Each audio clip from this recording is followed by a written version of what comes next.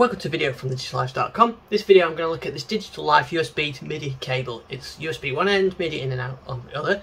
I'm going to see how well it works with something like Cubase and can I control my synths, some of the newer ones but some of the more vintage ones like the MRTX7 which are a bit more fickle on uh, the MIDI devices. So what I'm going to do is plug this into my machines and we'll give it a test. So here's the cable so we'll look at the length of it. Uh, I should say it costs 16 quid as well, this on Amazon. Plenty of length on the cable, which is good because I'm going to be reaching this over there from PC down here. So I'm going to connect this up now. Before I plug it in, I should just tell what it, what it feels like. It's well made. It doesn't feel flimsy or anything like that.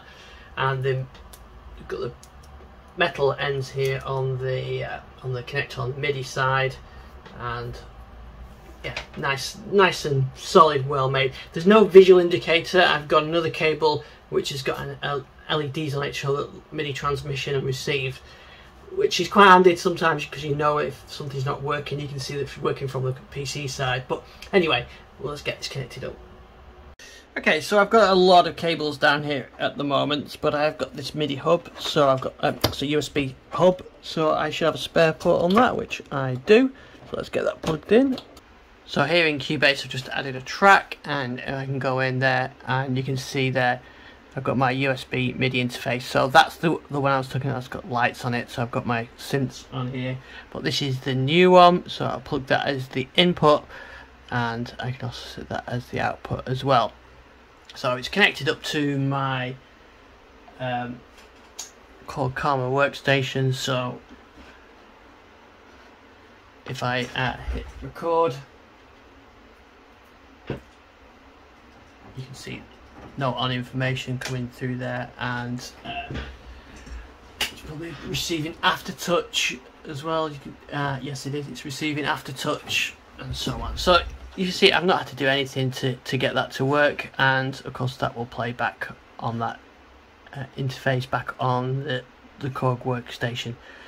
So um, that all works fine. Now what I'm going to do now is just try it with something a bit older. I'm going to connect it up to a Yamaha TX7 and see if I can sound, send some SysEx because that's probably uh, pushing the extremes of what you can do with MIDI on old devices so it's probably a good test. So I've got the TX7 plugged in there so I'm going to use an application called DX Manager um, so let me fire that up.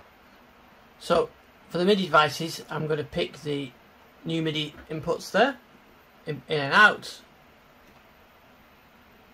and it should be able to read those for me.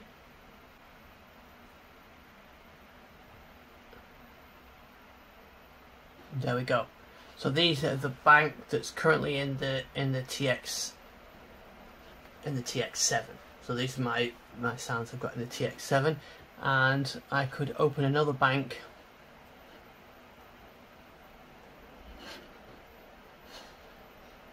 transmit that, go to Bell, and let's just take the camera over.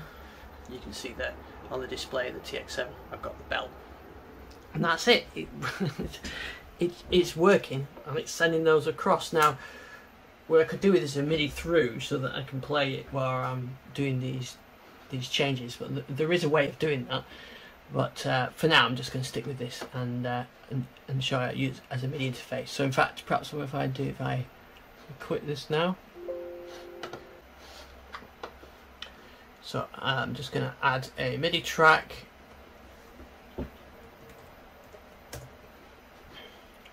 I'll put the input as the Minilogue keyboard and the output as the USB interface.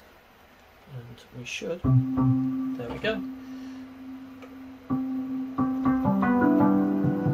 That's the TX7 we can hear now, not, not the Minilogue. So I'm using the Minilogue as a controller. It's actually the TX7 that's making the sound. Change that.